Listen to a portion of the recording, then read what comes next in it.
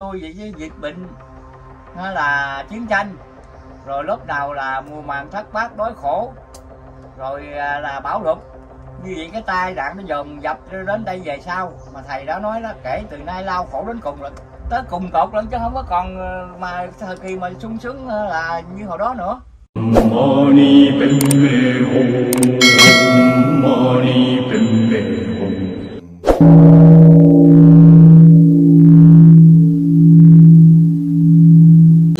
Cô bác chị em và chị đạo sang kính mến. Ngày hôm nay dân Hiếu à, gặp gỡ ông chính và sư huynh Nút Đà thì cũng à, nhân sự tùng sự hôm nay không gì quý báu hơn bằng đem à, giáo lý đức thầy đang khuyến giải bà con tu hành trong thời điểm dịch bệnh này. Vậy thì à, kính thưa ông chính đức thầy có cho biết qua câu đó chính là no chiều gọi lại đó mai dương trần sắp dướng bệnh chờ từ đây. Vậy thì à, những cái diễn biến tiếp theo trong những năm lập hội này đó chính là dịch bệnh à, chiến tranh à, đói đau rồi thiên tai địa đất này kia mình nên tu thế nào ông chính cho giải thoát được? Khỏi cái những cái nạn đó. Mong chính chia sẻ dùm mà nam mô di đà phật. Nam mô bổn sư thích ca mâu ni phật. Nam mô a di đà phật. Lễ kính đức phật mười phương cho đức thầy và lễ kính chư thành nam mô a di đà phật. Dạ kính thưa à, kính chào đồng đạo à, nam nữ xa gần lớn nhỏ thân mến.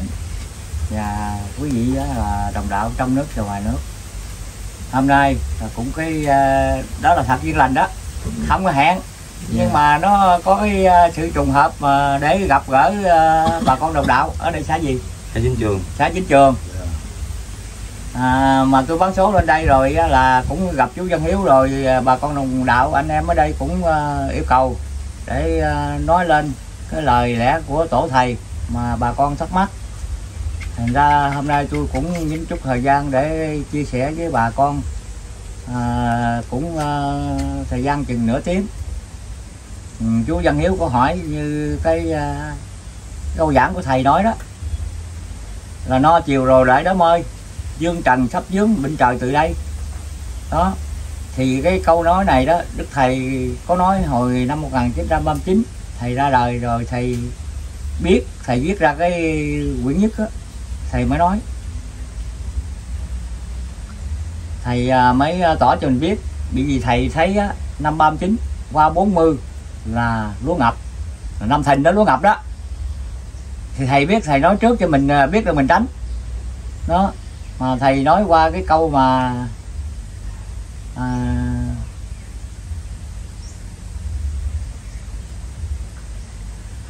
mùa màng đói đau không thuốc. Ờ mùa màng đó thơ, mà mà mà mà mà mùa màng thất bát đói đau không thuốc đó. Là cho mình biết là qua quan năm thìn là sẽ lúa ngập. Thành ra đó, khuyên mình phải nên cần kiệm. Ừ. hãy nên cần kiệm cái việc làm ăn xài phí rồi cũng cần kiệm lợi mà ông nói là nghèo với đói từ đây sẽ biết hàng ngoại bang bố thí ta hoài. Khuyên chúng sanh hãy ráng miệt mài giàu rách rưới cũng mau cần kiệm lời ta nói hãy nên suy nghiệm. Đó. Rồi lời thầy nói rồi mình à, ông nói là là là là đói đau. Đó thì năm 40 thì lúa ngập thì đói rồi đó. Rồi đói rồi đó, qua năm 42 41 42 thì bắt đầu dịch bệnh nó lên. Đó là tới năm 45 đó. Dịch bệnh cái cơn đó là nó dữ dội lắm.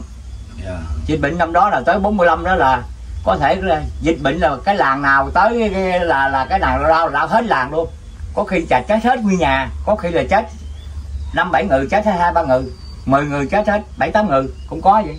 Thiểu số người còn lại là đi tản bỏ cái xứ đó đi xứ khác. Dưới lăng tà hồi đó đó cô tám tôi cũng tản cư lên đây thiếu gì bà con tản cư cái dầu. Rồi nhiều khi cái bà con ở dưới cần thơ tản cư lên cái dầu. À, ra bình nghĩa ở ngoài bình nghĩa. Ra đó rồi cái im ái rồi cái là ở đó luôn rồi các nhà ở đó luôn. Nhưng mà hồi trước đó cái đất còn trống trải lắm nhà thưa thưa một cái cả trăm thước năm bảy chục thước cũng có cái nhà. Thành ra cái dân dưới lên á thành ra người ta lợi che và lại che chiều cất chạy cất nhà ở đó thì không ai la rậy đó đó cái thời đó, đó thời buổi đó thì còn đất trống. Còn như thời buổi bây giờ mà nếu nó có như vậy nữa mình đi đâu mình cất nhà để che chạy che liều ở đây. Thấy không? Đó, thì bây thấy hoàn cảnh bây giờ nó khổ hơn hồi trước dữ lắm. Mà hồi trước á mình mình bị nạn đói chết nè mà nó ít hơn. Còn cái miền bắc á chết đói đó là hai triệu rưỡi rồi ừ. yeah. cũng cái thành ra đức bình giáo chủ mà thấy cảnh khổ của chúng sanh. Thành ra ngài mới đi phía đông đó ngài đi phía nam sáu tỉnh miền tây tức là một trăm ờ, lẻ một chỗ gì đó trăm lẻ bảy điểm. Là trăm lẻ bảy điểm. Là trong sáu tỉnh miền tây mình đó ngài đi phía đông các tỉnh. Phía đông để kêu đồng bào đứng lên để cài cấy đừng để cho ruộng đồng bỏ hoang đó mà ngài nói muốn cứu khổ tai nạn của nước lo dạ dày là trước đầu tiên. Nam kỳ đâu phải sống riêng nam kỳ tức là mình đấy nè. Nó ổng kêu lên để cài cấy ruộng đồng phá ra rừng lâm để mà làm lúa thóc lại đặng đồng bào mình có no đủ rồi mình còn có thể cung cấp cho miền bắc trung phải nữa. Đó nam kỳ là mình. Rồi còn mình có dư giả rồi mình mới cung cấp cho miền bắc miền trung dân mình bây giờ đói khổ lắm mình lúc năm đó là ngoài miền bắc là chết hai triệu rưỡi người. Đó. Rồi là cái à, cái thế giới nó mới tổng cộng cái đó là đệ sĩ thế chiến nổ luôn đó nghe. Nhập với đệ chị nhị để chiến à, chiến tranh nổ luôn. Ờ. nga tàu anh mỹ nè nhật đức ý nè. Quánh cái sắp đó là đệ nhị thế chiến à, nó- nó nổ lên đó. Là tổng cộng thế giới đó. Nó tổng cộng cái số chết. Vừa chết đói vừa chết là chiến tranh đó. Vừa chết dịch bệnh luôn đó là hai là 25 triệu người. Ừ thế giới thì chết 25 triệu người. Còn miền bắc mình là chết hai triệu rưỡi. Đó. Thành ra cái, cái thấy cái cảnh mà khổ sở vậy đó thầy mới cho hiểu biết trước để bà con nào có cái, coi kinh coi giảng của thầy rồi hiểu biết rồi để mình thức tỉnh tu hành. Mà thầy đã nói á kẻ từ nay lao khổ đến cùng lắm. Ừ. kẻ duyên gian khó, khó nổi thung dung người bảo ác không còn tánh mạng. Thành ra ngài nói câu này đến chi? Để cho dân chúng có coi kinh giảng của thầy để hiểu biết. Sau này, cái cảnh mà đói khó, cảnh dịch bệnh, cảnh chết chóc như vậy đó, mình sợ. Thì ngài mới kêu gọi thêm. Ai biết đường thì sớm tổ đạo. Kiếm đạo lý mà nhời mà nhỏi đó chứ tẩu là chạy chứ đào là trốn. Mà chạy trốn đi đâu? Chạy vô cái đạo để trốn danh trốn lợi trốn, trốn tình trốn quyền trốn thế nè. Ha mình còn bị ham mê danh lợi quyền thế dữ lắm. Lo đua ban giờ đua bơi giành giật với xã hội rồi lo làm ăn cho giàu có làm ăn cho nó giàu khá hơn người ta. Nhưng mà xét lại cái cuộc đời mình á mình làm thì có rồi đó. Nhưng mà một trăm người được có đâu ba người giàu có thôi còn bảy tám chục người thì cũng còn vẫn còn nghèo cái đâu phải mỗi người mỗi làm giàu được hết được. Thành ra mình nếu mình à, cái thời kỳ trước có nó còn yên tĩnh bà con đu bơ với- làm ăn để có ra thì để sống thì nó đúng rồi. Nhưng mà bây giờ cái thời kỳ này đó đức thầy đã nói kể từ nay lao khổ đến cùng rồi.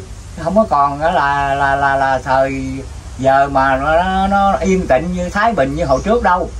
Thành ra bà con á phải nghe lời thầy chỉ dạy là điều thứ nhì thầy dạy đó. Điều thứ nhì ta chẳng nên lười biếng phải cần kiệm sốt sắng lo làm ăn và lo tu hiền chân chất. Rồi chẳng nên gây gỗ lẫn nhau hãy tha thứ tội lỗi cho nhau trong khi nóng giận. Đó là thầy lời thầy dạy trong cái điều thứ nhì. Nhưng mình xét thấy đó tu là tu nhưng vẫn làm ăn bình thường. Nhưng mà cái tu nhưng mà về cái sự làm ăn mình đó, lựa cái nghề chánh nghiệp mình làm. Ha thì nó không có gây cái ác nghiệp về sau ha, mình không có cái, cái, cái trả cái quả. Như hồi trước tới giờ đó bà con làm ăn rồi lăn lộn với đời rồi nhiều khi làm cái gì sai trật nhất làm miễn có tiền thôi được rồi. Đè bẹp lên người ta dốc láo với người ta thế thần với người ta. Ha để mà làm ăn nó là hơn người ta. Rồi gây nên cái nghiệp quả đó bây giờ phải đau phải bệnh phải trả cái quả. Đó như hồi trước á tôi nói qua một chuyện này chút xíu là ông ông bá tánh ông thuyết trình hay lắm. Nhưng mà ông này cũng tu tuyệt để nha, tu dữ lắm.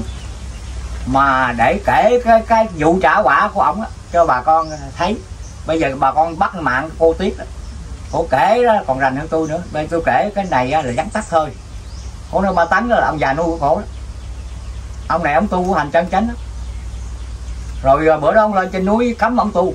Là đi xuống mọi người mà đi cho lên tới cái vụ mà không là là còn có hai ông thôi.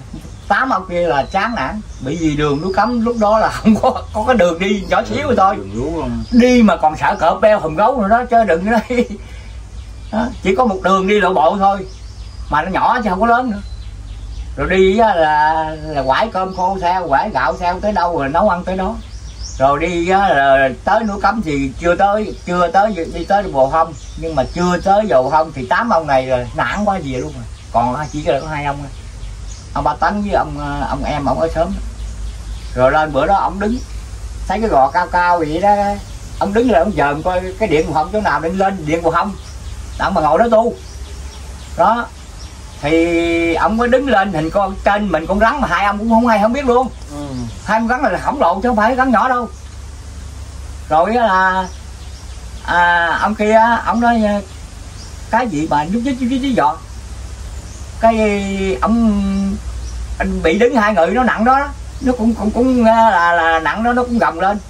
Gồng lên một hồi cái là mình lá cây nó tuột xuống dòm thấy cái dãy cái nó chiếu chiếu trời ơi ông ông tránh nè ông này hen ông hết hồn ông chết chăn một chỗ, còn ba tấn thì ngồi nằm trước đầu, đứng trước đầu, còn gần trước đầu con rắn. Con rắn nó quay đầu lại, cái nó le lưỡi lè rồi cái ông này nó chết chết chết. Cấp này là cấp hết niệm phật nha bà con. Bà con có niệm phật cũng không hết niệm phật được rồi. Thành ra ổng thì ở sau ổng đỡ. Nhưng mà ổng nói chết chết là nói nói cho ông ba tấn hay đặng mà ổng ổng chạy. Nhưng mà ông này cũng cũng cũng đâu, cũng thấy gì mà ông niệm phật thôi. Ông đứng, cấp này ông đứng là ông niệm phật thôi chứ không có chú dích gì hết. Cái cái là tuột cái cây hết trơn thì thấy hình con rắn ta la nó chiếu chiếu chiếu. Thì tất nhiên là ông ba tấn á ổng đứng về ổng niệm phật hoài. Ổng không có nhúc nhích mà không có sợ sợ gì trơn á. Còn ông ở sau thì ông sợ. Đó thành ra ông sợ sợ thành ra là tha tới thì con rắn mà nó le lưỡi ra cái ông nói chết chết chết là nói ba tấn mà nói vậy thôi chứ là là cũng không có nhớ tới tên ba tấn mà kêu ờ, con rắn nó quay đầu nó mày ha gì đăng mà chạy hay gì không nó chết chết biết nó chết chết vậy thôi. Nó tới lúc đó, đó mình niệm phật không được đâu bà con ơi mở tu trước mới được. Mới có cái cái cái cái cái, cái sự niệm phật có cái công cái cái à, mà dùng cái công mình tu hành mới có cái cái đức độ, thành ra cái thời đó mình mình mới cái tỉnh cái tâm mình lại đi mình chống chọi với cái tai nạn được. Chứ còn ông này ông nói chết chết vậy thôi. Mà ngồi á, ông hồ, ông ông nói thiệt, ông gì ông nói thiệt à lúc đó ông đái cho quần hồi nào không hay luôn. Sợ vậy đó. Rồi cái thì thấy ông này, một lát thì thấy ông này, ông đứng niệm phật hoài, im cái con rắn. Nó thấy ông này là à, vững chí mà đứng không có chút dích gì hết, không có sợ sợ gì hết ông ba tấn đứng cái đầu á, thì gắn vậy cái nó mợp đầu xuống. Nó mợp đầu xuống cái nó bò hai ông này rớt xuống dưới. Hai ông này rớt xuống đất, rồi nó bò đi luôn. Nó bò đi khỏi rồi hả? Ông này ông dòm coi là nó đi trên đầu cây nghe, ao ao ao trên đầu cây. Rồi ông ba tấn mới bắt đầu hai ông ở đó mới tu. À tu thì ông nói lên đó tu. Tu thì ngồi thiền định ở đó đó bằng ngày thì ngồi thiền định đó tu. Cái bữa đó ông ba, ông này ông gặp con sóc của trà lại ông ba tấn thì ngồi thiền định thì ông gặp con sóc trả lời. Mà để con kể cái này trước đi. Con sóc này á là cái quả của ông này hồi trước đi lính. Bị vì hai bên đụng độ nhau rồi bên đây tan rã rồi thành ra mạnh anh nó trốn nhưng mà ông đây đi ông này đi có một mình về. Rồi gặp nửa đường đói khát quá không có cơm gạo ăn rồi thấy con sóc trên cây mới dương xuống bắn. Bắn con sóc rớt xuống. Bắt ông bắt được con sóc thì biết là con sóc nó mang cái cái, cái đứa con cho bụng nè, nó có chữa. Rồi ông ông này bất nhẫn ông nói thấy con vật có chữa, mình không biết, phải biết gì mình đâu có bắn.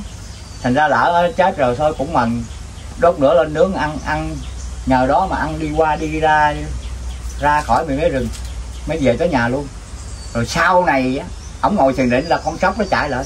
Nó chạy lại, nó cắn ở dưới bắp dế ông nè. Nó cắn xích một miếng thịt rồi nó ăn luôn. Nó ăn mà máu ông chảy người ta nói chảy ướt quần đó vệ quần mà chảy thấm dưới đất luôn. Đó, rồi ông này á, ông mới thấy á, thì ông cũng chết chân chứ, ông đâu có dám nói. Rồi con sóc nó ăn hết miếng thịt ổng rồi, cái nó nó quay, nó lội ra. Lội ra cái quay trở lại, nó dòm ngó ổng, thì ổng cũng nằm chết chân thôi. Ngồi chết chân không có cửa quậy, không biết gì hết. Chỉ thiền định mình niệm phật thôi. Rồi một hồi con sóc nó ngó ổng. Ngó ổng ngó ổng một lát rồi cái nó bò lại bò lại nó liếm liếm cái cái cái chỗ mà nó cắn chảy máu liếm hết trơn trong giò ổng sạch trong giò ổng rồi nó dòm mở cái nó đi. Cái ông kia ông bạn tấn thôi anh ban ba, anh nãy giờ anh thấy gì không? Anh thấy gì không để? Nó thấy sao anh im ru vậy? Thì tới lúc mình trả quả thì mình phải ngồi im ru đang trả quả. Nó hỏi sao mà anh biết nó? Con con sóc này là tôi bắn nó hồi lúc trước. Nó mang cái bầu ma mang, mang con đó mà tôi không biết. Tôi biết tôi đâu có bắn. Thành ra bây giờ tới thời kỳ này nó lợi là tôi biết nó rồi. Là tôi biết lúc này lúc tôi ra quả tôi làm im cho nó. Bây giờ nó môi ruột môi gan tôi cũng vẫn ngồi im cho nó môi đó. Đặng trả nó quả. Mà nhờ như vậy đó nó quay lại nó thấy ổng cái im luôn vậy đó. Cái nó thôi đi. Nó liếm hết máu vô đó là thôi nó đi. Nó bị gì mà ổng mới kể ra cái vụ ờ, ổng bị lính hồi đó mà bắn con sóc mà sóc có con vậy đó thành ra bây giờ phải trả nghiệp đó, đó thành ra nó dòm thấy ổng á ngồi im gu vậy đó. Tức là ổng chấp nhận cái sự trả quả của ông nó không ổng không phản bó đối đó. Thì nó biết ông này cái thật tình tu. Thành nó mới tha. Nó mình độ vậy ngang cái này mình độ ngang. Dạ. Ừ. thành ra cái người có cái tu hạnh rồi có cái hạnh rồi có công quả rồi đó cũng nhờ cái phước. Mà nó thấy ông này ông hiền quá ngồi niệm phật mà chịu với cái sự của nó trả quả mà không có ờ, phản đối gì hết trơn. Nó biết chắc này chắc tu hành cũng cao. Thành ra nó bỏ nó đi luôn. Đó, rồi nó tôi biết chứ vậy? Cái thời kỳ tôi trả quả tôi biết. Ra, thành ra nó nó thổi đi luôn. Đó, thành ra bà con thấy không? Một con sóc thôi mà cái nghiệp quả của mình đã tạo, bây giờ mình phải trả. Bởi vì ông phật nói luật nhân quả trong cái cái cái cuốn mà nhân quả lực có nói sát một dao. Thì phải đào thai lên cho người ta chặt lên một dao. Giết một mạng thì cũng phải đào thai lên một mà cho người ta ta giết lại là trừ. Đó là cái cân quả bù trừ xưa nay hồi đó giờ vậy. Thành ra hồi trước giờ mình cũng làm ăn cũng tạo nhiều cái cái cái ờ, những sát sanh hại vật. Thì bây giờ mình cũng hàng ngày hàng đêm mình cũng cầu nguyện cho những chúng sanh đó. Cầu nguyện cho cứu quyền thức tổ ông bà cha mẹ mình cầu nguyện cho những chúng sanh con sát hại họ nhiều đời hồi kiếp trước hay trước lúc này mà hôm nay con đã biết cải hối ăn năn làm lành, cũng nhờ ơn trên, tha thứ tội lỗi cho con. Và con cũng thành tâm cầu nguyện cho những vong linh của cụ huyền thất tổ, ông bà, cha, mẹ con và những chúng sanh con sát hại nhiều đời hồi kiếp trước. Cũng nhờ ơn đức phật từ bi tiếp dẫn vong linh được về miền cực lạc. Đó, thì hàng đêm mình cầu nguyện đó. Mà ta nghe mình cầu nguyện vậy, người ta cũng thông cảm ta không đòi mình đó. để mình tu đi. Ta còn hộ mình, đang mình tu đặng mình thành đạo sớm đặng mình cứu vớt cái tấm này nó khỏi cảnh là là là, là ăn lăn đổi sừng nè khỏi cảnh thú nè. Đó. Ừ. thành ra cái luật nhân quả nó vậy đó để nói nói chút đó thôi để cho bà con là là thấy cái luật nhân quả như vậy đó. Rồi bữa nào con bắt cái mạng của bà tiết thì nghe rành hơn tôi nữa đi, đi nói dắt xương xương vậy thôi. Đó. Còn bây giờ muốn tránh qua cái nạn đau binh khói lửa chiến tranh chết chóc và cái nghiệp lực của mình tạo thì thầy có dạy hết á mà tại vì á, cái giáo lý của thầy á, nhiều khi bà con coi rồi coi phớt qua thôi, không hiểu ý được. Đó, không hiểu hết ý của thầy nói. Mà thầy đó chỉ dạy cho mình đó, là niệm chữ di đà tan chứa nghiệp. Mình nếu phát nguyện ăn chay niệm phật làm lành, đừng có làm chân ác đi. Tội mấy thì cũng tiêu hết á cứ việc làm lành chứ không phải là là nói rồi cái là mai mốt dẫn nó lấp dốc nó láo dẫn nó thêm bớt vẫn làm ăn là là là là là là, là mà mà tội lỗi nữa. Thì cái này không có tha được. Còn mình làm ăn ngay thẳng sám hối làm ai ăn ngay thẳng đúng đắn chân thật rồi biết làm lành làm phước đi rồi biết niệm phật đi. Mà niệm phật giữ lòng thanh tịnh đó nghiệp mấy quả mới tiêu. Là tại sao vậy? Vì trong kinh có nói đó thật thích ca ngày xưa có nói đó nếu mà chúng sanh niệm á, một niệm thôi mà tâm được thanh tịnh, thì một niệm này tiêu được tám chục ức kiếp tội trọng sinh tử. Thấy không? Cái tai nạn của mình gây lên tiếp trước đó. Thì nhờ mình niệm hàng ngày thì cái nghiệp quả nó tiêu. Rồi mỗi một ngày mình, năm mình cúng thì mình sám hối cho mình nữa là trong năm bài nguyện đó, là bài nguyện thứ năm nè, mình nói tắt đi, nói về cái mình đâu nam mô ngũ nguyện cầu phật tổ phật thầy. Từ bi xả tội cho đệ tử. Đệ tử là mình. Là tôi thí dụ tôi tôi cái thầy cúng tôi tôi đọc đó là đệ tử là tôi mà chú cúng đệ tử là chú mà chú này cũng vậy. Đó là đệ tử là mình đó. Mình đứng lên mình mình mình cải hối với phật đó. Đó, đó là mình cải hối một ngày được một buổi gì là được năm lần. Thì hai thầy cúng mình được 10 lần. Thì hàng ngày mình niệm phật nữa. Thì đức thầy mới cho biết là là nếu làm như vậy thì tội chiêu phước hưởng được rồi. Ha? cái tội này từ từ lắng xuống tiêu rồi phước mình có ờ, tu hành là dụng công tu hành niệm phật. Rồi mình làm phước nữa thì mình có phước. Đó phước ngày một nhiều nhiều. Mà bởi vì ngài khuyến khích cho mình nói tu kiếp kiếp nếu không quá trễ chừng đối đầu có kiếm riêng cùng phải tu cho lâu đi. Kiếp kiếp là mau chứ không phải kiếp này kiếp kia nha. Chứ kiếp này là kiếp mau. Cái kia phải kiếp đó tức là kiếp mau. Kiếp mau kiếp lẹ đó. Gấp gấp á. ờ gấp gấp đó nghĩa là vậy đó. Cũng không quá trễ mới không quá trễ. Còn bây giờ cái lúc này nè bây giờ tôi nói thẳng là cái lúc này nè đừng không có dịch bệnh nè. Bà con được đi mà ăn tự do nè. Rồi im tĩnh bà con lo cúng lại ăn chay niệm phật làm lại. Đó. chính bây giờ dịch bệnh đang à, sắp hành gì đó nó tiên cơ nó tiến triển cái đầu mình làm cách nào dễ thoát. Ví dụ bình đào đi đối bệnh tật. À, chính. Cái giải thoát đó Dạ. muốn giải thoát cái cảnh à, thế giới này bên đâu là không có cách nào hết. Chúng mình là chúng sanh không có giải quyết được. Mình chỉ có cầu nguyện cho ổng bớt phần nào thôi. Ừ. chứ còn á cái là mình á, là cầu nguyện cho hết thế gian này hết binh đau hết chiến tranh hết khối lửa hết bệnh tật là cũng không hết được. Nhưng mà nó có thể bớt 10 phần đất được hai phần là được. Chúng sanh làm cách nào mới mới được qua cảnh khổ đó muốn làm cách nào qua đến khổ rồi hả? Dạ. Thì thầy có dạy hết trơn á. Thầy có dạy rõ ràng kỹ lưỡng là nhiều chỗ lắm. Nhưng mà ở đây á, thì mình không có thời gian mà nói nhiều chỗ. Mình chỉ đơn chứng là một hai chỗ thôi. Đó, thầy à, cũng nói đó là di đà lục tự ráng ghi. Ghi tức là niệm đó. Ghi vào lòng mình tức là niệm đó. Niệm cho tà quỷ vậy thì ra ra ra đó mình có đau có bệnh gì tà ma yêu quỷ gì thì mình niệm đi. Cứ niệm phật thôi niệm cho hoài phải niệm cho thành tâm đi. Một niệm một thành tâm thôi ma nhập mình nó cũng văng ra. Mà mình niệm lơ là thì không được nha. Phải giữ lòng thanh tịnh niệm mới được. Một niệm thanh tịnh thôi thì con ma nó cũng nhập mình nó cũng văng ra. Nhưng mà à, mình dưỡng trí đi. Ông sư giải ông có nói đó cái người niệm phật rồi đó có bốn thần có bốn vị thần linh. Mà ông nói nè niệm phật có bốn thần linh thường thường ủng hộ bên mình độ khang. Niệm phật tật bệnh tiêu tan. Đó, mà phải thành tâm niệm phật mới được. Trong lúc mình ngồi mình niệm phật là phải bỏ hết tất cả các tư tưởng cái giọng trần giọng niệm của mình không nhớ gì hết. Việc gì mình làm mình ngày mơ mình làm. Bây giờ không có còn nhớ nó nữa. Nhớ lúc này là lúc mà đang mình đương giữ cái tâm thanh tịnh để niệm phật. Thì được thanh tịnh như vậy á tai nạn gì cũng qua ha. Cái cái cái cái cái nghiệp quả gì nó cũng hết. Mà niệm không được thanh tịnh thì cái cái nghiệp quả nó nó cũng bớt vậy. Cái công quả mình ít mà. Không thanh tịnh thì cái phước mình ít. Chứ không phải không có có mà ít. Thành ra mình niệm lâu ngày nó mới được trừ cái tai nạn này. Còn niệm thanh tịnh nó chỉ một, niệm một thôi. Thanh tịnh được thì bị gì trong kinh phật nói là niệm một tiếng phật mà lòng thanh tịnh đó diệt được tám chục ức kiếp tội trọng sinh tử thì mình niệm được ta lòng thanh tịnh rồi là cái nghiệp quả mình nó tiêu hết. Đó. Không còn nghiệp quả nữa. Còn cái tai nạn á, là thầy có nói nè, trần gian khói lửa giới đao binh.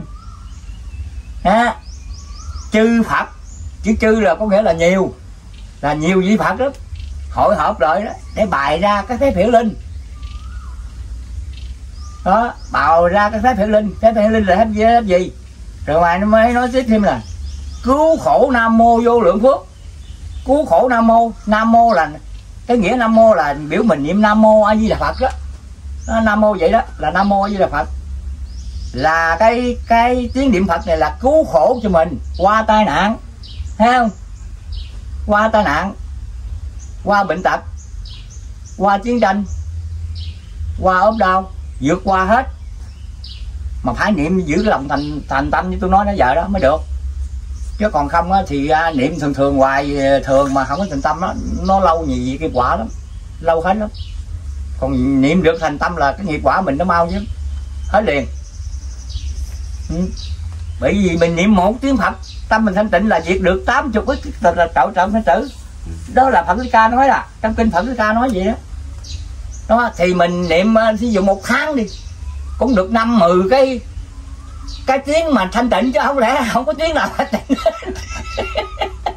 Thấy không? Nhiều lần mới được. Thì thì cũng có à. Thì niệm một tháng đi thì cũng được năm mười cái, cái, cái tiếng niệm mà thanh tịnh thì mình cũng diệt tai nạn mình hết rồi. Đó. Nó sớm bài phép hiển linh phép là linh hiển lắm. Để cho mình niệm để mà vượt trừ cái nghiệp quả của mình nè diệt trừ cái tai nạn của mình mà tâm của mình được sáng suốt nè. Ha nếu chúng Rồi. ta nào, nào làm hiền mới được qua cảnh khổ thì bởi vậy Dạ.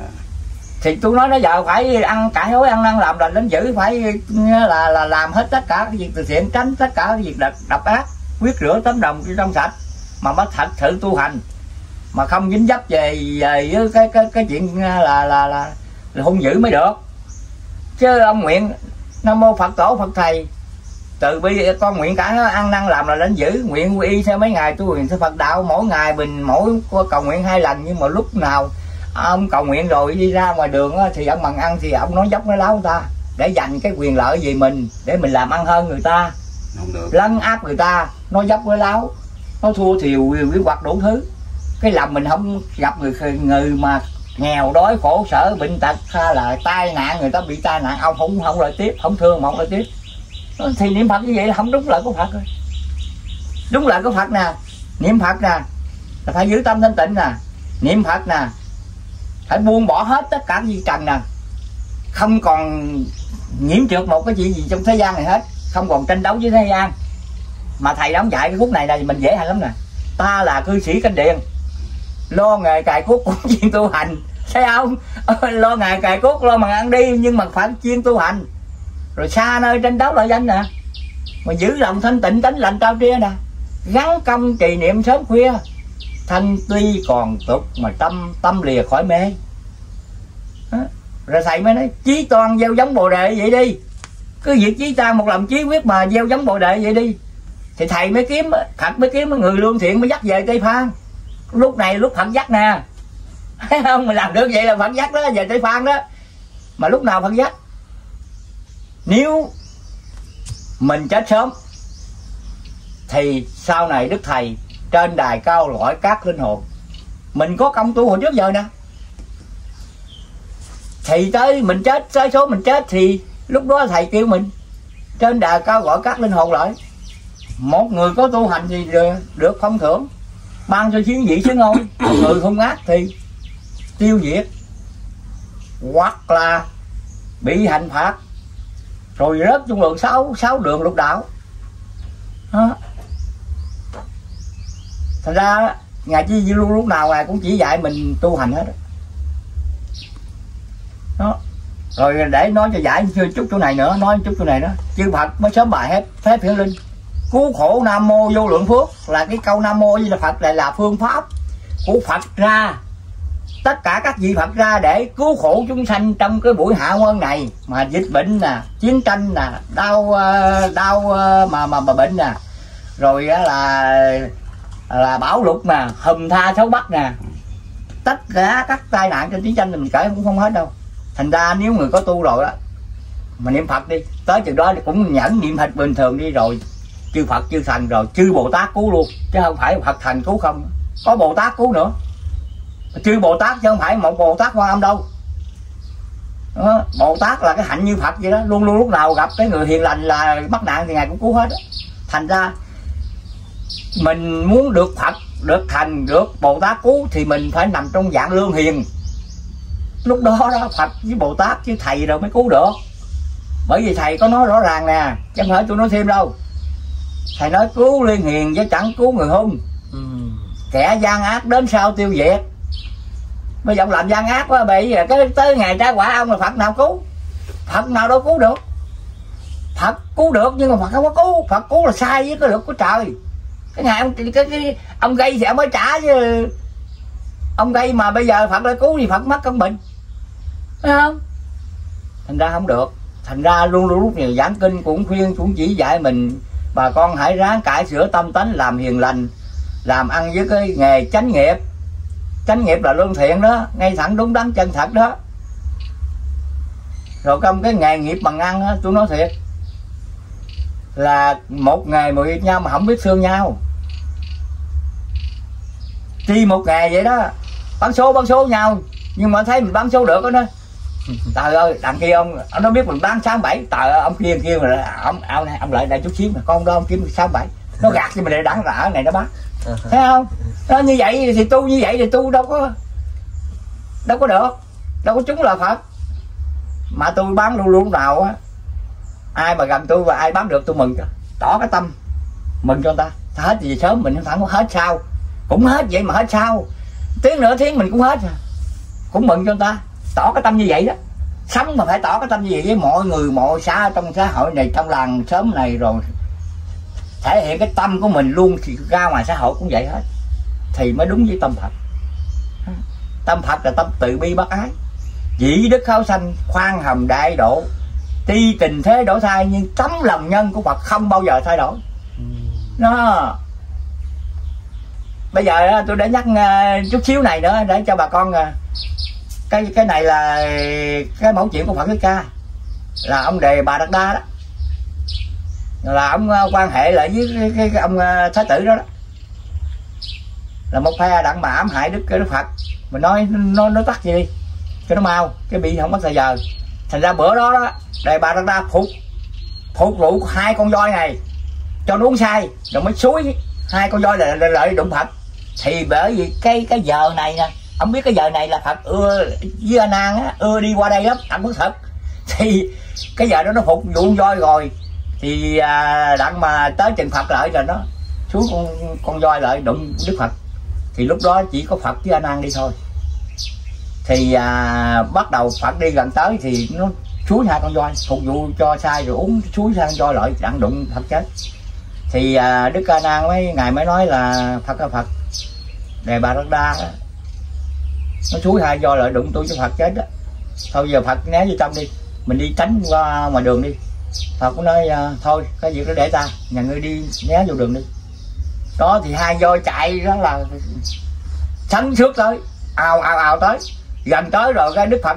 Lúc này đức phật mới dùng năm, chứ hồi đó giờ tôi chưa nghe đức phật dùng còn xong. Nhưng mà thành đông ông không có xài ờ, phật gì, không có xài xong. Có mà không có xài. Trường hợp là bất đắc dĩ phật mới xài đèn xong thôi. Là như trường hợp này đó. Rồi hai con voi nó chạy chạy gần tới, phật mới đưa năm ngón tay lên. Thì năm ngón tay của phật quá là ra năm con cọp thì con sư tử gặp cọp là hai con sư tử sừng liền nó quay đầu nó nó, nó chạy chạy luôn. Đó là cái trường hợp bắt dĩ phật mới dùng xong chứ không phải dùng tâm coi cho là biết phật đi đằng dân chỗ này phật uh, biến hóa chỗ kia để cho ta nghe ta tu lần lần. Tu đó là tu. Vì vì thấy Phật có thành thông quá thì thành ra mới ù ù theo đặng mà mà mà tu với Phật đặng mà cho Phật dạy cho có pháp thành thông. Chưa phải là tu chánh. Đó còn tà. Mặc dầu Phật dạy chánh nhưng mà lòng mình còn tà mình còn nghĩ về cái tà chứ mình không nghĩ. Mình dội giữa cái tâm của mình cho trong sạch, thanh tịnh như Phật mới thành Phật. Như vậy mới được. Mình còn đơn ác mà mình học với Phật rồi đặng Phật dạy cho mình có thần thông bay nhảy này kia, đó là tâm tà. Không được. Phật dạy đúng nhưng mà mình mình cái tâm mình còn tà, cũng không có được nữa. Thành ra phật không có dùng xong vậy đó. Không có xài xong. Khi nào bất đắc dĩ ngộ bất cập thì phật mới xài xong. Thành ra bây giờ cái chỗ này á thì là chư phật mới hiển bài phép hữu linh, cứu khổ nam mô vô lượng phước là nam mô a di là phật là một câu cứu khổ cho cả dọn lợi chúng sanh luôn, chứ không phải cho đất nước việt nam, dân tộc việt nam mình không đâu. Ngài dạy là dạy chung tất cả các hoàn cầu, chứ không phải dạy riêng về đất nước việt nam mình đâu. Mà tôi tôi nói thật cho bà con biết ha mặt đầu đức thầy, ông dạy dân tộc việt nam mình nữa mở hội long hoa tại đất nước việt nam mình nhưng mà đất nước việt nam mình, cái người nào hiền lương? Một là trung hiếu nè, hai là hiền lương là hai hạng mới còn dư hội long qua thôi, mới còn sống qua đời thơ đường thư quân thế đức thôi. Còn đất nước việt nam mình hỏi mở hội long qua mà mình là cái người ác cũng không có giữ được đó. Rồi các thế giới ngoài nước nào mà cái người hiền cũng được vô nước mình giữ nữa. Bị thật thi là là thi người hiền mà, chọn là chọn người hiền mà. Nếu không hiền thì phật không có chọn dòng họ của phật giờ phật cũng không cứu được nữa. Chứ đừng mình có nghĩ. Đó bởi tôi nói cái câu mà mà mà mà ghe nói đuôi tới lăng tà đó. Tới chừng đó là nhân danh can gốc khóc người la đó. Mà cái bài đó tôi cũng chưa có thuộc không nữa. Rồi á chừng đó đó rồi thương con nít càng la hoàng khổ mẹ là con nước mắt đầm đìa. Ừ. Ờ, là cái cái đó mà tôi cũng chưa có có, có thuộc nữa. Thành ra chỉ thấy chưa? Rồi lúc đó đó đức quan âm á đức thầy mới về. Về rồi đức quan âm đứng giữa không trung mới dạy phép cho các quan đàn cụ nè để cứu để dìu dắt tín đồ giáo chủ. Đó, tín đồ giáo chủ là là đức thầy mình đó là là là, là đức quỳnh giáo chủ đó. dắt tín đồ giáo chủ tức là dắt tín đồ phật giáo hảo. Mà dắt cái người nào hiền lương mới được mới được dắt. Chứ không phải người hung mà lại dắt đâu mình tưởng đâu. Như vậy có phật quan âm ấy ngày đó mà có ờ, đau đói chết sống giặc bệnh rồi có phật quan âm xuống. Đó là dùng phép thông cứu mình. Cứu người người hiền, chứ không phải cứu người hung đâu. Thành ra mình à, nghe rồi mình phải ráng làm hiền lành đi, tới chừng đó gặp tai nạn rồi quan âm mới cứu. Cái đừng có nói ngu à, mà mình à, là dân tộc Việt Nam chắc là là là cũng được dư hội luôn qua. Hiền mới được dư hội. Chứ không hiền là không được dư hội. Cái chỗ này tôi tôi trình bày với bà con cặn kẽ đó nghe. Đó. cứu lương hiền chẳng cứu người hung kẻ gian ác đến sao tôi diệt đó tại sao đức uh, phật thích ca ngày uh, không dạy riêng cho a la hoa mau sớm thành phật? Thầy cũng dạy bằng nhau à. Phật cũng dạy bằng nhau à. Không có dạy hơn chúng nào nói do nữa cái tâm ông ngộ được thì ông đắc không ngộ được thì ông tu thêm nữa thôi chứ phật không dạy riêng. Phật không có tình riêng. Con ông vậy mà thế gian chúng sanh cũng vậy à. Đó, thành ra cái lòng của phật ngay thẳng và bao la dạng vật trên thế giới này mà ông phải không phải phật độ chúng sanh. Chúng là tất cả số đông. Sanh tức là sống trên trái đất này. Mình cũng chúng sanh, loài vật cũng là chúng sanh. Đó. Mình với cái con vật sanh một ngày thôi. Sanh một năm chứ. Sinh một năm. Thôi bây giờ bỏ đi để nó có đó nó lung tung qua nữa. Nó đâu? Thành ra, bởi câu đức thầy nói nè, cái câu này á, nhiều bà con đạo đọc qua chứ chưa có hiểu chưa hiểu cái lý của phật nói. Ông nói ờ, chốn non xanh dạy dỗ cáo cày. Xuống trần thế ra ra ta, ta dắt chúng. Tại sao? Ông lúc cũng ở trên non á thì dạy dỗ cáo cày. Cáo là trồn cày là chó. Chó sói đó. Là phật hiện cái thân con thú để mà độ loài thú. Ha ông qua nước ở Việt Nam mình thì ông hình dốc của người Việt Nam nói chứ Việt Nam qua Ấn Độ thì nói tiếng Ấn Độ độ người Ấn Độ. Qua bên Mỹ thì nói tiếng Mỹ sát thân của người Mỹ độ người Mỹ. Rồi ông độ thú á, thì ông phải quá ra đồ thú đó ông nói chuyện với thú độ đồ thú đó. Thấy không? Phật từ bi hiến xá như vậy đó. Chứ không phải ông độ là người không đâu. Trốn xuân non xanh dạy dỗ cáo cày. Xuống trần thế mà ra tay dắt chúng đó quá ra những loại thú đó để mà, mà mới mới dạy nó được. Đó cũng như đức quan tham bồ tát đó ngài muốn độ ai? Nếu nữ thì ngài quá cái sắc thân nữ ngài độ người nữ. Mà độ người nam là ngài quá sắc thân người nam. Thần thông phép phật muôn hình mà. Thành ra cái chỗ việc đáo vậy đó. Chứ tưởng chứ đừng có nói mà phật mà độ chúng sanh với người loại người không loại vật ngài không độ ngài độ hết. Người loại vật gì là ngài cũng độ hết. Phật có cái tấm lòng từ bi, hỷ xả rộng rãi. Mình phải buông bỏ, phải mở cái lòng mình rộng rãi.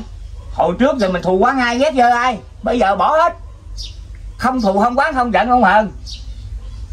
Thanh mật với ông đó, làm ăn với ông đó, chung trả với ông đó. Nhưng mà cái người nào mà thấy không được thì mình à, không có làm ăn nữa thôi. Chứ vẫn thương yêu, tỏ tâm thương yêu. Như hòa đồng với mọi người. Cái tâm đó mới tâm Phật đó chứ còn là mình còn đã mình tu rồi. Tu năm ngoái hôm nay ăn chay niệm phật rồi nhưng mà ghét đó gây lộn nó năm ngoái năm nay cũng còn ghét ông nữa. Thì, thì cái tâm đó tâm chúng sanh. Cái tâm đó còn cái tâm đó là tu hoài có thành phật. Đó. rồi mình á, nguyện cải đó, ăn ăn làm nó dữ mà mà cũng khi về rồi cũng vẫn nói dấp nói láo nói đâm thọc cho sớm chờ mà à, cho gia đình ta gầy gà. Đó. thành ra hay bỏ những cái sai chặt đó đó tu là sửa, mà sửa cái gì? Sửa mấy chỗ đó đó. Ha, mới được. Chứ còn tu mà tâm còn hẹp hòi tâm còn ích kỷ. Thì để đạo lâu sáng lắm. Phải buông bỏ buông bỏ những cái giận hờn. Tức là cái lòng ta được trống trải. Cái lòng ta trống trải, trí ta mới sáng. Chứ còn mình cứ chấp nhất người ta hoài, mà một tiếng người ta nói nói hơn thua với mình, rồi mình đi hơn thua với người ta thì thì cái tâm mình bó buộc vô đó rồi. Cái tâm mình là tâm chúng sanh. Không có sáng đạo được, lâu sáng mà phải buông bỏ. Để nó nói nó nó nó nặng, nó nhẹ mình mình phải tỏ cái tâm. Mình tội nghiệp đó. Nó gì không biết tu. Thành ra nó mới có cái tâm mà nhỏ nhoi, nó mới à, là nói nặng, nói nhẹ, nó cao với thấp với mình còn người mình biết tu theo phật rồi phải học theo hạnh phật. Ha, học theo hạnh phật phải từ bi hải xã như phật vậy đó. Mới được. Đó bây giờ những cái tai nạn nãy tôi kể qua đó cứ niệm phật như vậy đi, nạn gì cũng qua hết. Đây là phương pháp của mười phương chư phật hợp hội với nhau mà để mà mà mà bài cái phép niệm phật này ra để cứu khổ chúng sanh trong thời kỳ chót. Ngoài pháp phong niệm phật rồi, không có còn pháp nào mà để cứu chúng sanh trong thời kỳ chót. Tôi nói đây, quý vị không tin, cứ việc là hết kinh sách coi đi. Có có cái pháp nào mà chỉ cho mình à, mà mà mà mà cứu khổ cho chúng sanh không? Chỉ có gì có này pháp môn niệm phật mới cứu khổ chúng sanh thời kỳ chót thôi. Ừ. Thành ra bây giờ á thì mình phải nhất quyết tu hành mới được. Mà hồi trước mình làm tội lỗi lắm. Tôi cũng xin bài à, cũng trình bày chia sẻ với bà con chỗ này. Cũng có nhiều người đó, ta giàu lắm. Nhưng mà hồi trước ta làm ăn đó, gây cái tội lỗi nhiều rồi bây giờ trong cuộc đời người ta bốn năm chục năm người ta tạo cái gì bác. Sợ người ta sợ người ta tu. Không có rửa cái tội người ta hết. Ha? Rồi người ta hoang mang ha. hoang mang. Muốn thấy đời khổ nghe người ta nói đời khổ trên mạng trên du tiếng rồi nói cũng dữ lắm mà bây giờ muốn tu mà nhưng mà mình nghiệp dãy đầy. Bốn chục năm làm ác rồi bây giờ làm sao mà? Tu làm sao mà hết cái tội mình được thì bà, tôi nhắn nhở với bà con đó, dưỡng đức tin đi. Đức thầy có dạy cái phương pháp này cho bà con nè. Bà con đừng có sợ, bởi vì thầy có nói là biển rộng mênh mông, quay đầu là thấy mé. Tu nhất kiếp phật nhất thời là chỗ đó đó. Bây giờ hồi trước giờ ba, bốn chục năm bà con lăn lộn với đời, làm ăn nhiều, cái khi là nó bất chánh rồi làm không đúng đắn, gây nên cái tội lỗi nghiệp quả. Bà con thấy bốn, năm chục năm như vậy là tội lỗi dữ lắm mà sợ tu mình tu không có gỡ cái tội hết. Thì bà con cứ yên tâm đi. Mà nghe một lời của đức quỳnh giáo chủ nói nè, thì bà con cứ vững chí tu đi. Nghiệp quả gì cũng hết. Đây là tôi khẳng định theo lời của thầy dạy. Thầy nói nè, hiếm những kẻ vô nghì lạc đạo. Chỉ lừa một lòng làm bảo làm xăng Hả, hồi trước giờ là bảo làm thằng không ác không à mà ai mà xét đến năng năng hoài đầu hướng thiện đi. Bằng tăng giúp dùm chỉ bằng là gì? Bằng là nghèo. Tăng là ông tăng nghèo tức là thầy đó. Hoài đầu hướng thiện trở lại đi không làm ác nữa. Làm thiện bắt đầu ăn chay niệm phật làm lành làm thiện đi. Thì thầy đã dắt dùm mà coi theo giấy lý của thầy tu đi. Thì vượt qua khỏi tai nạn gì? Tội lỗi cũng vẫn tiêu như tôi nói nãy giờ đó. Cứ việc là hành theo mấy môn niệm phật đi không có pháp nào mà mà mà mà được cái là là cứu cho mình qua cái tai nạn qua cái nghiệp quả qua cái khổ sở cái ốm đau đói có bệnh tật hết á. Chỉ có một miền phương pháp niệm phật mà chư phật nè chư là nhiều. Phật là nhiều phật. Sớm hiển bài cái phép hiển linh này cho mình biết là hồi năm 39 tới giờ lận không phải mới đây. Sớm bài lâu lắm rồi cho mình biết để mình trì cái đó là vượt qua khỏi cái cái nghiệp quả của mình. Cái nghiệp quả mình làm giết nhiều sinh vật rồi có đâm có chết ai? Có đi ờ, lính mà mà mà, mà đung độ bắn ai chết? Đó là nghiệp quả đó. Mà bây giờ mình cứ niệm phật đi. Rồi biết làm lành đi thì nghiệp quả này từ từ. Ngày bớt là ngày hết.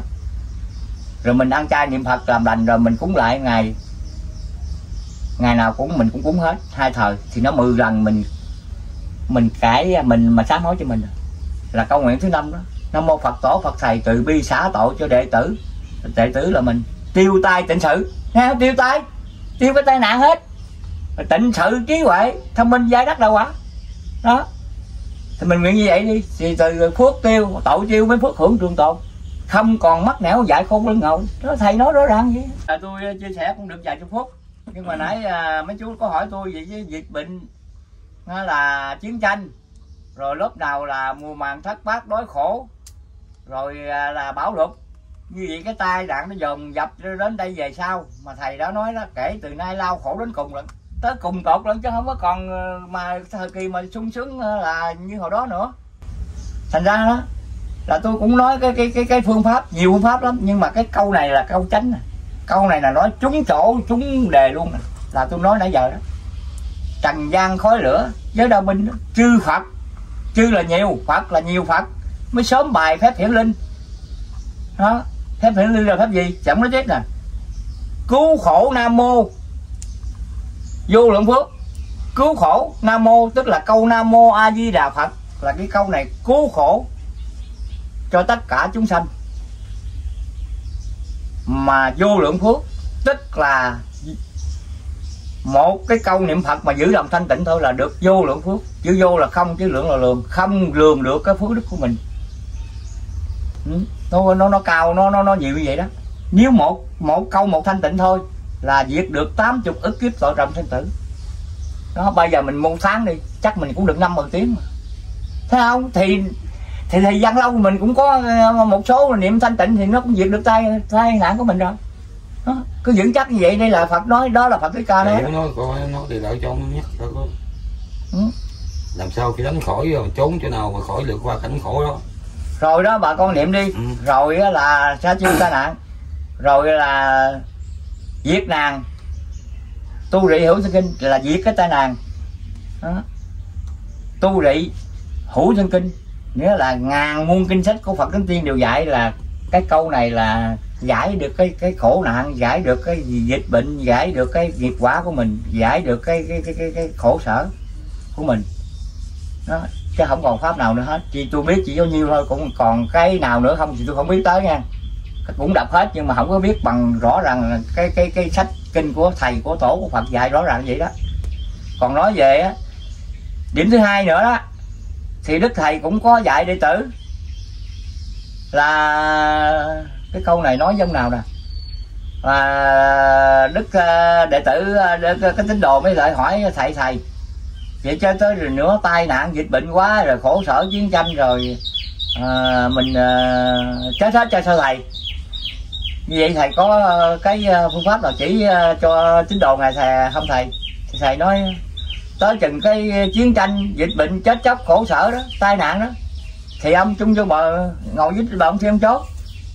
Cái à, vị tín đồ đó hỏi vậy chứ giờ bạn thiên thấy chống lẫm mà đâu có gì đâu mà trốn thầy nếu có giặc giả chiến tranh nhau làm sao mà nứt cho bọn thiên ờ, chống được thầy? Nó chống lỏng mà thì thầy nói, tôi nói cho ông biết à mặc vào bọn thiên chống lỏng vậy đó, cái mưa cũng không rơi vô, bơm cũng không có tới đó được.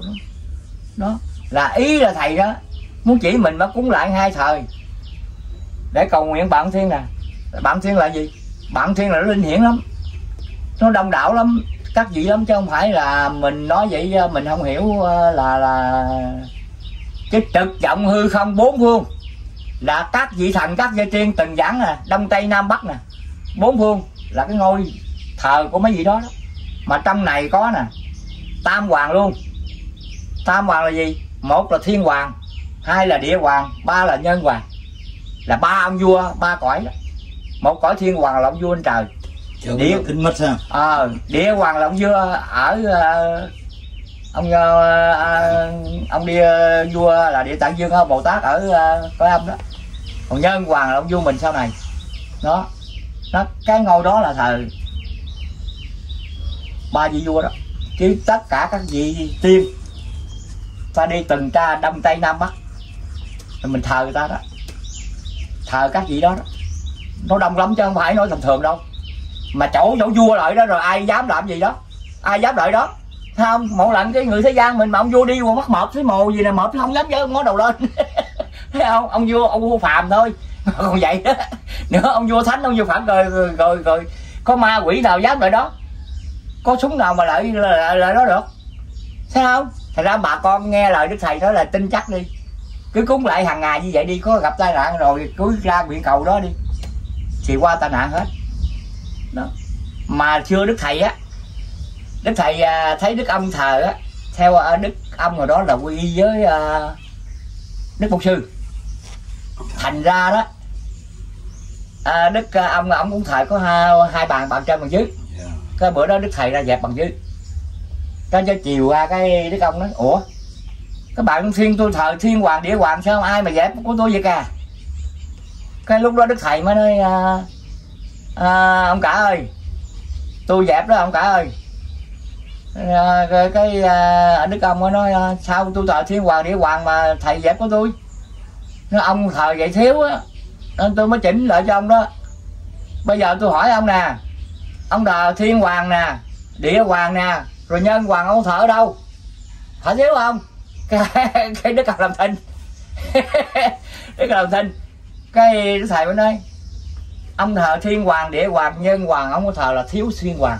Bây giờ tôi dẹp cái cái địa hoàng dưới. Mà tôi thỉnh ba ông về một chỗ, như vậy là đầy đủ hết. Tôi thờ có một mà thầy đề đầy đủ hết. Đúng rồi, mà đức ông làm thỉnh luôn. Rồi đó sao là thờ có một bằng một mà. Nó một bằng là đầy đủ hết. Mà tôi ý thức cho bà con ra để chia sẻ bằng cái chỗ này nữa cái bà ngôi tôi bảo mình đó. Nếu mình mà mình thờ tấm trần đều, tượng trưng cho chư phật mười phương rồi. Chư thật chư thành, thần, chư thánh, chư bồ tát, rồi mười phương có đủ hết trên đó hết không còn thiếu một gì nào hết từ thần sắp lên là ngồi lên ngôi đó. Chung với với chư phật đó. Mười phương phật mười nguyên pháp mười tăng. Mà nếu quý vị để một hình một cái ảnh đức phật thích ca lên đó thì còn thiếu. Thiếu nhiều lắm. Thiếu cái hình đức phật di đà. Mà thờ đức phật di đà rồi. Thiếu cái hình của cái ông là là là, là quan tâm bồ tát đại thế chí. Còn thiếu nhiều dữ lắm. Mà thờ cái tâm trần đều không là đủ hết cái nghĩa như vậy đó. Thành ra, nếu mà thờ đủ hết cái nhà mình không có chứa đủ đâu. Thành ra bây giờ thầy mới gom gọn. Thầy mới gom gọn một cách tuyệt đáo để cho người thờ gọn như vậy mà đầy đủ hết. Đó là cái ý thức cho bà con đừng thờ thì tốt, nhưng mà ngặt có cái nó thiếu vậy đó. Thầy hiểu cái lý đó, vậy đó là mình thờ cái tấm thần đều không là đầy đủ sở ý của phật đó, của thầy đó. Ừ. bây giờ đó, tôi đã giải thích cái chỗ bằng thiên nãy chú có đồng ấy chưa? đó thầy có dạy chỉ rõ ràng đó qua hay dùng chính ơi ừ. chi tiết đầy đủ. Ừ. rồi kết đề cảm ơn cô bác. À bây giờ à, kính thưa bà con cô bác. Hôm nay tôi cũng lên vĩnh trường mà cũng có dịp mai để gặp dân hiếu với uh, hai chú đây. Rồi cũng uh, cũng cái nhà tôi kêu tôi chia sẻ là một uh, vài chục phút nói về uh, đạo lý để cho cái bà con mà tu lâu rồi đó thì ta những bước trên đường tu rồi ta hiểu biết hết rồi còn cái này tôi nói để cho cái bà con nào mà hồi trước giờ lo làm ăn, nghèo khổ lo làm ăn, rồi kinh giảng út cho coi rồi hôm nay á, thấy cái chuyện đời á, là nó ờ, gần gũi cái bên quá đi, rồi lên coi trên youtube ai cũng nói là là khổ não khổ não, bệnh tật này kia rồi người ta cũng sợ, người ta cũng giác ngộ tu hành dữ lắm. Thành ra tôi cũng chia sẻ cho mấy bà con đó. Chứ mấy bà con mà tôi mấy chục năm rồi thì mấy con vững bước rồi còn biết nhiều hơn tôi nữa. Nhưng mà có cái á tôi thấy á thầy á ông nói ra nhiều cái á, tôi thấy tôi cũng đau lòng lắm. Thầy mà còn khóc mà. Đó. Mà quý vị biết ờ, thầy khóc rồi tôi nói vậy mà có nói quan cho thầy không? Nó có không? Cái chuyện thật có có là rõ ràng. Thầy nói nè thân khùng đêm vắng khóc thầm. Ừ cửa mình. Cũng nhớ giấc quỳnh là đã là sai chứ. Ừ. đó. Ngày nằm ngủ mà thương cho chúng sanh tới hồ khổ não rồi mà chúng sanh không có biết cảnh khổ mà cứ chạy theo lăn lóc theo đời. Rồi cái cảnh khổ sát bên mà bà con không thấy. Thành ra thầy thấy bà con vậy đó thầy mới thương bà con thương chúng sanh trong cái thời kỳ cuối này mà thầy đau lòng thầy mới khóc mới thân khùng im dáng khóc thầm cửa mình. À, cũng nhớ giấc bình nào ăn từ nay cách biệt xa ngàn ai người tâm đạo đừng toan phụ thầy. Đó đừng có toan phụ thầy. Cứ gắn chặt theo giáo lý của đức thầy đi. Đức thầy đem cái phương pháp dạy cho mình đưa mình đến sống qua đời thượng môn thánh đức và được dự hội long qua còn ai muốn tu theo pháp môn niệm phật thì tinh tấn tu theo là phật rước về cõi tây phương cực lạc của phật a di đà mà sinh sống bệnh không không không già không bệnh mà chẳng ngày nào lo. Đó. họp thành ra bây giờ tới đây là cũng xin uh, kết thúc cái đề tài tới đây. Bây giờ giờ, có hạn. Thành ra cũng chia sẻ bà con nhiêu đây thôi. Để cái dịp nào quẩn đãi chút nữa thì tôi chia sẻ thêm nữa. Thôi trước đây cũng uh, là chào bà con. Trước khi dứt lời tôi cũng thành tâm à, nguyện giái đức phật mười phương và hồng nguyện tâm bảo qua đến đức phật đức thầy. Cũng hộ trì cho quý vị được thân tâm an lạc đạo quả sớm viên tròn. Nam mô a di đà phật. Dạ nam mô phật. Cảm ơn chính nhiều ha ừ.